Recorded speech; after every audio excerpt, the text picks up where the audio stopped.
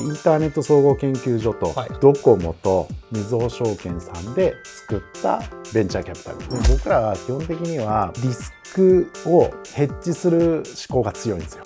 スタートアップ投資 TV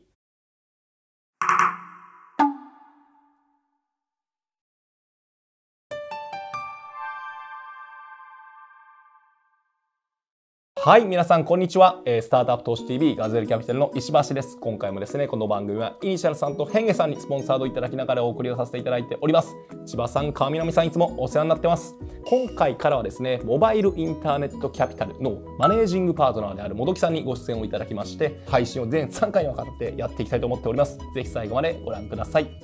スタートアップ投資 TV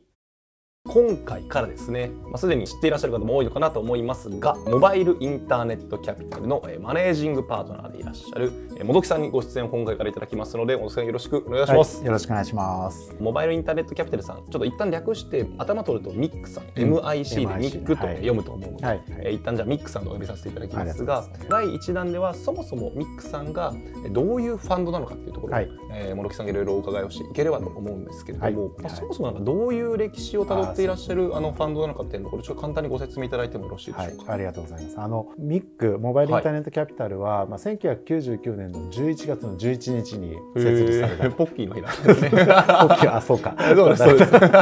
ちょうどマザーズのい号案件でインターネット総合研究所、はいはい、藤原さんという方が創業された方が上場申請した日にこのモバイルインターネットキャピタルをインターネット総合研究所とドコモとみずほ証券さんで作ったベンチャーキャピタル。なんですよ。合弁ベンチャーキャピタルみたいなところから始まってるそうそうそうそう。なんか藤原さんの思いはやっぱ強くて、はい。はい、そこでドコモさんに入っていただいて、みずほ証券さんに入ってもらって出来上がったっていうのが始まりで、当時の、えー、社長は西岡さんでインテルの日本法人の社長だった方がいて、あの西岡さんはだからシャープのザウルスって薄っぺらいパソコンとか作った方なんですけど、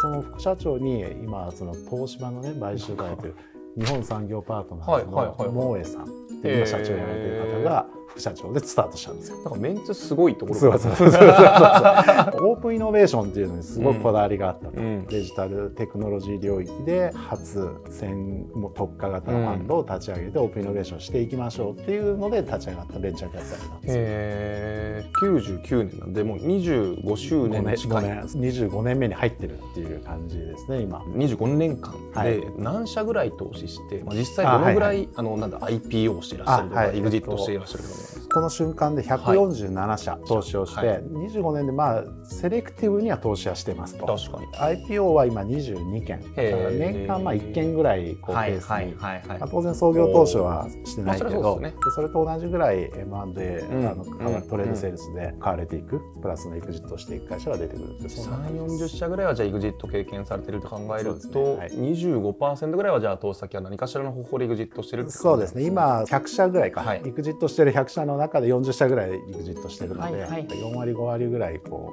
う狙うぐらいのところでこうセレクティブに投資もしてらっしゃると足元は何号ファンドをやられていてどういう規模のファンドだったりとか、どういうテーマでずっと投資されていらっしゃるんでしょうか。はいありがとうございます。5つ目のファンドを、はい、えー、と2019年の11月に、え立ち上げて、ファンドサイズは105億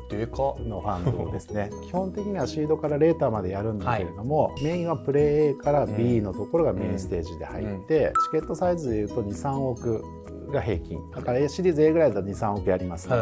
プレイ A だとまあ1億で、うん、まあ、その後フォローしていくので、うん、1社あたり、まあ、仕上がり5億ぐらいのイメージでポートフォリオを作ってなるほどなるほど。そういうやり方をやってますね。5号ファンドは、まあ、投資予算ざっくり80億ぐらいとすると、はい、15社前後ぐらいに投資するって感じのイメージですね。これは理想的には全社それぐらいやればいいと思うんですけど、はいはいはい、今の状況でいうと32社結構投資して、うん、まあ、最初のシード期に投資する案件もちょこちょこあるので、はい、その分は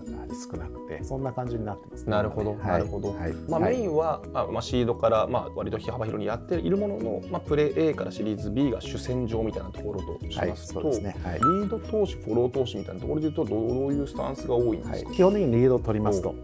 今でいうと75%ぐらいはもうリード。フォローはどちらかというとミドルステージ案件で、あのリードをつくからフォロー入りますみたいな、うん、そういう案件がフォローに回ってるっていうなるほどですね。仕上がりですね今、まあ、リード投資した後のコミュニケーションで言いますか、はい、こういうふうに企業を支援してるとかなんか特徴的な支援方法とかなんかあられたりするものなんですか？どうなんでしょう、まあ、基本的にはそのリード投資がメインにはなるので、はい、まあプレーから B のところでリードを取ってその次にどうつないでいくかみたいなことを、あの考えながらやってますと。基本的にはファイナンスサポートであったり、うん、あとはまあシリーズ A ぐらいに入るとどうしてもその IPO までのプロセスをこう入っていく局面に入るので,、まあそうですよね、なかなかベンチャーキャピタルで言い出せないところを まあ役割的には担って、はい、トップラインしっかり作ってもらって、うんうんうん、ただ後回しになるガバナンスのところはしっかり僕ら経験もあるので、サポートさせていただいてで次のステージにしっかり上げていくみたいなことを、最近は特に多いかなそういうのが。創業者タイミングでの代表のお二人も違うお二人なんですか、ね、あそうそうそうそう。ファンドの運営とコーポレートってある意味ベンチャーキャピタルって分かれてるという認識を僕らは常に持っていて、はい、社長は今4代目。4代目 ,4 代目。結構4代目変ってる、ね、25周年とは結構そこそこ変わってますよね。変ってるよね。各ファンドで代表になってっていうまあそういうのに近い、ね、ファンドが新しくできると変わるとかってルール、ね、ルールはないけど結果的にそうなってるっていう。まあみんなお役御免で変わっていくみたいなそういう形に今なってますね。現場の人もまあまあ長くやられてる方の方が多いんですか？2010年以降でいうとまあ僕が一番長くやってるので、はいはい、まあそういった意味では25年の中でずっとやってる人はいないわけですと。なるほどなるほど。バックオフィスぐらいですみたいな。一定数は入れ替わりがあられる中で投資済みのところで関する100社に対して、はい、まあ3 4 0がエグジットしてそこの再編成があるっていうのは、はい、投資価格がそのミックスさんの中で明確にあるからっていう感じなんですか？あそうですね。あのそこは僕らはポリシーとしては、はい、ベンチャーキャピタルはスタートアップの投資のプロだと、うんうん、であればその投資の手法であったりっていうのは磨き続けなきゃいけないと、うんうん、そこにはすごくこだわりを持っていて25年の中でもやっぱりナレッジがこう蓄積されているので、はいはい、それをこう引き継ぎながらあの今に至るっていうことでそこはすごく僕は自信を持っていてそういった意味でのこうロスリスみたいな、はいはい、ところをこう抑えながらやってるっていうのがうちのこだわりですねその投資の。ベンチャーキャピタルって基本的にはその可能性を見て投資をするんだ、うんはい。はい、特にまあシード期から入っていくと可能性がほとんどですと。リスク見たら投資できますよね、はい。はい、間違いない。言い出すときりないですですよね。で僕らは基本的にはどちらかというとリスクをヘッジする思考が強いんですよ。だからリスク分析むっちゃ好きなんですよ。そうなんだ。リスク分析好きってことは断る方に、うん、あのね、こういうケースもあったりするので、リスクをどう見積もるかはすごく得意だとリスクをちゃんと見つつ取れるリスクかどうかっていうのを可能性とのバランスでどうやるのみたいなそこにこだわって投資をしようとしてる。んです40%の方はすでに EXIT されていらっしゃって、まあ、なかなかうまくあのいかなかったケースというのも一部存在するのかなと思うんですけど、はい、いですよね。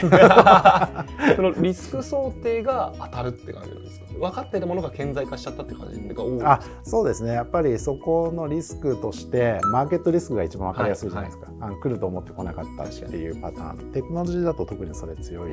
ですよね、うん、そこはもう仕方ないと、うん、あとは予期せぬところみたいな話も、うん、まあ、やっぱ人の部分とかってあるじゃないですか、チームが崩れるとか、はい、でそこもなんだかんだ言って僕らね全部ビューデリの中で議事録残してんですよ、はいはいはいはい、過去のやつからずっと、はい、やっぱりそこのところは指摘されてて。はいはいはいはい、けどそのリスクは取りましたっていう話なんだけど取るべき そうそうそうそう まあまあやっぱりそうだよねみたいなのがあのまあよくあるかな。からそれはまあ振り返られるようになってるから、まあ、ナレッジたまるんだみたいな話なんですけどね、僕らから見ると。まさに秘伝のタレみたいな 脈々とそうそうもうねこう漬け込まれてるわけですね。そうそう特殊レポートっつってその最後のねこう解剖書を作るわけです最後。要は自分はいけると思いましたと。けど蓋開けてみたら全然違いましたっていうのをレポートで書かなきゃいけないっていう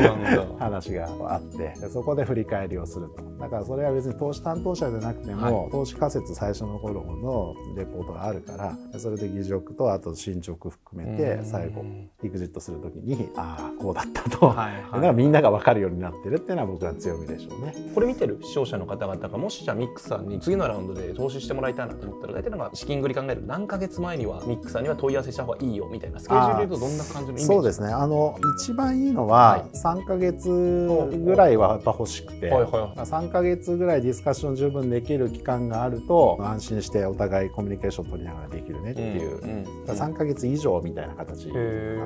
それで短くなるとちょっとタイトで、うん、十分に練り込んで投資仮説を作ったり、リスク分析したりみたいなところがちょっと窮屈になるから、うん、3か月ぐらいあるとすごく嬉しいなと思いますね。逆に初動の検討は早かったりするんですか？方向性的なんかどの段階ぐらいで分かったりするんですか？僕らのポリシーとしてはできる限り早く2週間ぐらいで自分たちがやれるやれないは少なくとも一時的に回答するっていうのはこだわろうとしてるところではありますね。できればやらないことが分かってるんであれば初回のミーティングで伝えられるのが理想だというふうには思いながらいつもお話しさせてもらってますけどね。早すぎると早すぎるで起業家の人もなんかムッとしたりはしない、ね、そうそうそれはね。難しいです、ね、それはあるそれはまさしく。だからこの60分で何を？そうそうそうそうそうやって思われるからすごく注意なんだけどけどそこをどう愛を持って伝えるかみたいなのはやっぱりキャピタリストとして重要じゃないですか。プレー A から B がメインだから、はい、投資機会っていうのはずっと続くわけですよ、はいはい、プレー A で断っても A があるし B があるしみたいな思考性なのでここで信頼されない限りはっていう話じゃないですか。ベンチャーキャピタルとして僕らはそのスタートアップの方々に対してどうやって誠実に尽くすかと。それがプレー A から B にあたってこう常に機会をもらえるようにすると。約10年強えーとまあ、キャピタリストが出ていて、うん、まあ、いわゆるアンチポートフォリオというかプレでも来てくれたし A でもくれたし B でも来たけどごめんなさいってなったがイグジットされたとか大成功されてる企業の方とかっていらっしゃったりするんですか？あいますいます。明確にイグジット IP をしたりとかイグジットされた方にはあのお会いした時には申し訳ございませんでした。見る目がありませんでした。毎回。すいません。あの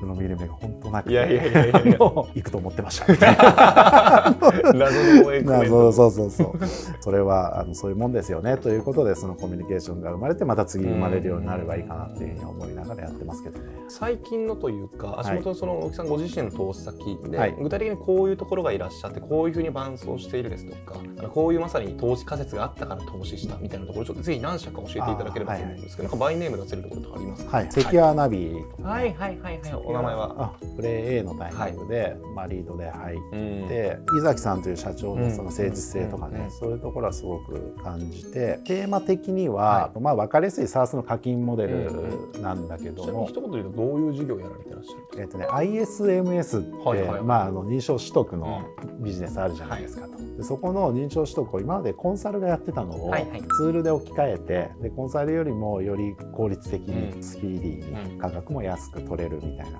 で今そのスタートアップとかその新規取得の層でいうと3割4割ぐらい彼らが今握ってるんですよその年間のね。新規取得のところ。認証取得して終わりじゃないので。チェックがあるのでそこまでずっとやっていくとそういうサポートしていくそういうスタートアップで分野的にはレギュレーションテックとかね、はい、規制領域でどう運用を守らなきゃいけないかみたいな世界があると。でそれ今まで人がやってましたと。でそれって今考えたら別にツールでもいいし、うん、今後はその AI とかねデータ使って動的な管理もできるようになっていくから。だからそれって例えばモニターで違うボタンを押そうとしたらアラート出てきて、はいはいはい、違う違うみたいなね どっちが正しいのかみたいなのあるんだけど、まあけどそれって人間は悪さをするものだみたいなね、あのそういう活躍できる場がそれツールにはあってということでレギュレーションでも認証取得だけ見るとちっちゃく見えるんだけど、そこからつながっていくいろんなビジネスっていうのは広いぞと。でかいぞということで投資したんですよね。もう少し前の投資先とかだと例えばどういうところがあったりするんですか？前だと変化さんも投資してたラクモとかね。ラクモもすごいもうもあれもドラマがあって使ってまってました？ユーザーとして使ってました。うちのミックに2006年のファンドから投資をしてましたと、はい、でそれでエクジットしましたと、はいはいはい、1回ね2号ファンドで投資をしたんですよ、はいはい、でそれ1回エクジットしたんですよ、はい、御手洗社長さんはやっぱ IPO したいということで、うん、御手洗さんってすごくエンジェル投資家としてもすごく優秀なそれこそアイスタイルとかアジャイルメディアネットワークでちょっと株主個人株主に入ってて両者 IPO したので自分 あそういうっていう気持ちになるじゃないですか、その時に今のファンドで4つ目のファンド。2号ファンドでエグジットして4つ目のファンドでバイバックというか 売った先からまた買うみたいなことをやってでそれは2018年だったかな。3年半で上場した。21年。それはもうちょうどそのコロナ禍でテレワーク、リモート絶好調みたいなの中で上場したのでそれは良かったですねっていう話で。でそれもドラマとしてはそうやって行って帰ってくるみたいなね。確かに他のポートフォリオとかまさにあのミックさんのホームページに、うん、あの皆さんがどの担当の人がどこやってるみたいなのが基本的にロゴも全部載ってあ載ってる載ってる。だからそれ見てねあの関係ありそうだと思ったらぜひ、あの問い合わせいただけると嬉しいなというふうに思いますね。ぜひあの概要欄の方にですね、ミックさんのホームページの URL も記載をさせていただいておりますので、そちらの方からチェックいただいて、えー、場合によってはですね、これからシリーズ A 目指していくぞっていう方はぜひお問い合わせ、プレイ A も含めですね、いきなり2ヶ月前というよりかは少し早い段階からお話をしていただくと一番いいんじゃないかなと思っております。それでも野木さん今回ご出演ありがとうございます。ありがとうございました。また次回も見逃しのないようですね、皆さんチャンネル登録してお待ちいただければと思いますので、次回もお会いしましょう。それでは、さよなら。